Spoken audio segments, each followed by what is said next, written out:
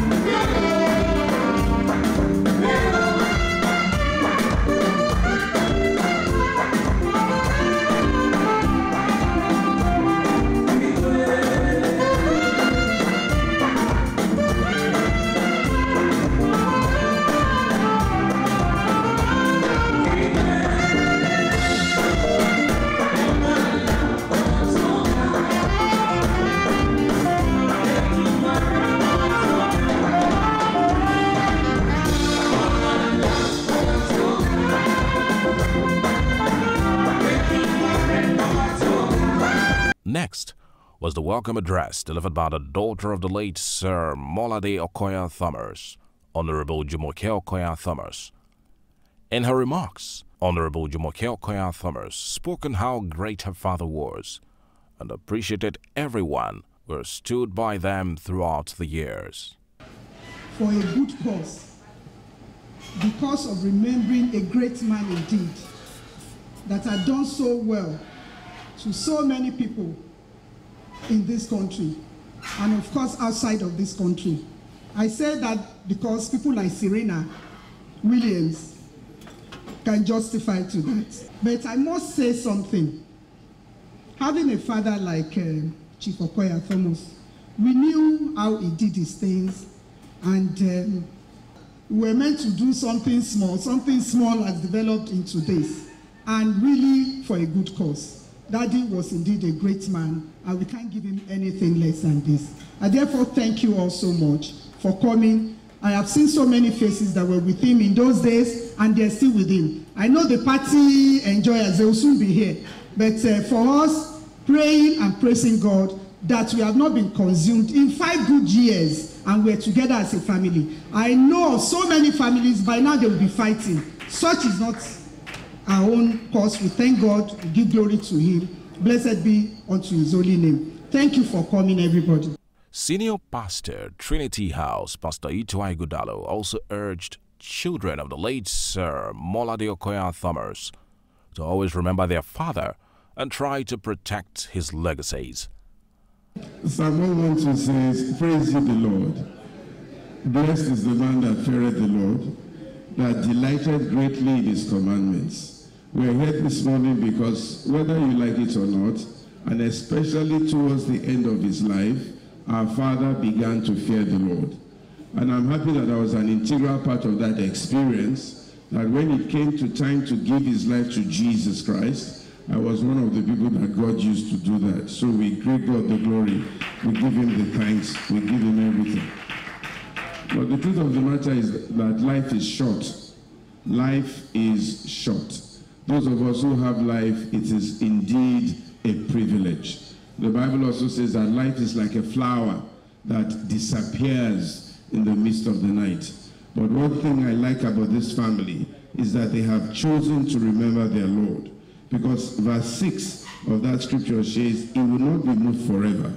The righteous will be in everlasting remembrance. Please always remember your father with fondness, with happiness, and with joy. And always give thanks to God that he chose to bring you forth through such a great man, a generous man, a mighty man. The Bible also says in verse 3 that wealth and riches shall be in his house. In your house you will never be poor. Only Sister Jumoke is saying amen. because she's one that likes money the most. Let somebody shout aloud, hallelujah. It says, righteousness will endure forever. So I want to thank you all for staying together.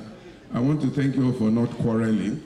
Other events that followed next were the Bible reading and a special music rendition by renowned soloist Bola Udom.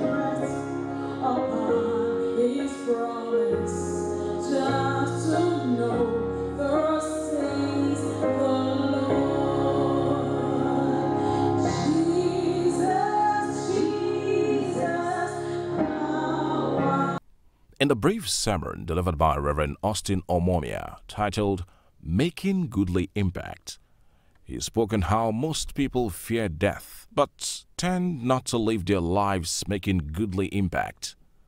he urged all to live a life of impact to glorify the name of God at all times. This is a testimony to the fact that our father lived well. It's been five years, and we are here freely testifying to the good life he had lived and the impact he made. So I'd like to consider very quickly, by way of exalting us, making a godly impact. Making a godly impact. I met my sister sometime ago and I told her that there was a day I went to Baptist Academy and I met the principal. She was giving an account about what happened. That was how I knew that that was Daddy's Baptist Academy. I said, You see, this man, you know what he has done for our school, he started making. Who is this? He started mentioning. I had not come to the church then and said wonderful things. The distinguishing factor was that having mentioned him and all the catalog of the things he did, it just opposed it with some other persons who also passed through the school who did not care a dime to do something for them. Making a godly impact. Thereafter, family members and friends of the late Sir Molade Okoya Thomas delivered tributes during which they extolled the virtues of the deceased and urged his children to stay united at all times. We thank God for our lives and especially the lives of the family of Chief Molade Okoya Thomas. When we have been invited to this gathering, I don't even know it's already a year already, but already it's five years since he has passed away. We thank God for their lives. We thank God for their being in Christ. We thank God for he has used them to continue to maintain the good names which their parents has built, and especially for being in Christ, praying their night for their family and the continuity of the God's grace on their family. Sometimes, the small me, anytime I met him at the club, the lawn tennis club, of course he has passion for tennis, whether table or lawn. At the club, every Friday, he was always making the Brazilian cuisine available for us. He will offer his chair for the small me, and I will refuse, but he was always doing that. He was passionate about sports generally, and he contributed a lot to the development of sports in Nigeria and Africa indeed. Because of his passion for tennis, he told me one day that he would spend the last 40, as if he knew when he was going to die, he would spend the last 40 years making sure he fulfilled his, uh, his dreams in sports. Every year, in the last 40 years before his death, may God give him eternal rest. May you continue to rest in glory of God. And may God uphold the family has left behind. Thank you very much. This was immediately followed by a special prayer for the family, led by Pastor Kemi Onolaja. The vote of thanks was delivered by Mr. Deji Okoya Thomas, after which Reverend Samson Adedokun led in the closing prayer. It was good medleys all the way till the very end as BJ Sax serenaded guests with melodious tunes from his saxophone.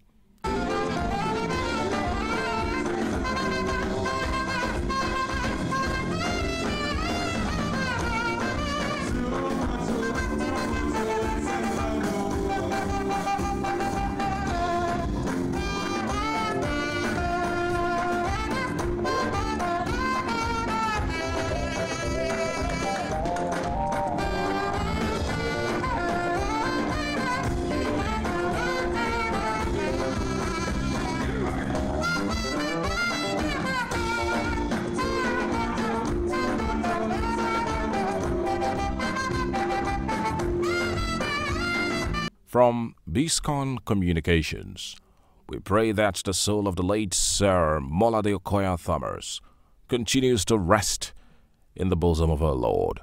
Amen.